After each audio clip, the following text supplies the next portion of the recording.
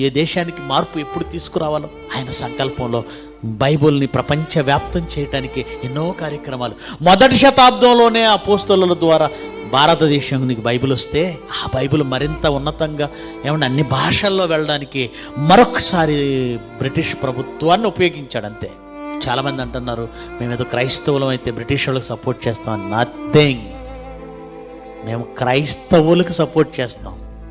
ఒక ప్రక్క బైబిల్ మంచిని పెంచుకుంటూ వస్తే మంచిని బోధిస్తూ వస్తే సమాజంలో మంచిని వేస్తూ వస్తే ప్రపంచ దేశాలను బాగు చేస్తే మళ్ళా సాతాను విజృంభించి మళ్ళా కల్చర్ అంతా పాడు చేస్తున్నాడు. ఏంటంటే మన రాజస్థాన్లో ఒకడు కారు కొన్నాడట.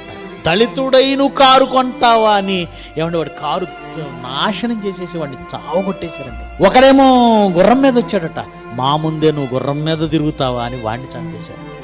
ఏమండి? గుడికి సంబంధించిన ఒక ట్యాప్లో నీళ్ళు తాగాడట పిల్లాడు. నీళ్ళు తాగినందుకు చంపేశారండి. మొత్తం మతం అని మత పిచ్చి పట్టిన వాళ్ళు భారతదేశాన్ని కబళించడానికి సిద్ధపడుతున్నారు. ఇలాంటి సమయంలో మరలా బైబిల్ యొక్క గొప్పతనాన్ని సమాజానికి చెప్పాలి. బైబిల్ కోరుకుంటున్నది ఒకటే. మనుషులందరూ ఒకటే.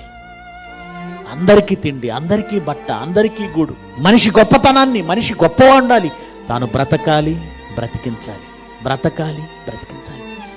క్రీస్తు ఈ భూమి మీదకు వచ్చిందే అందుకు.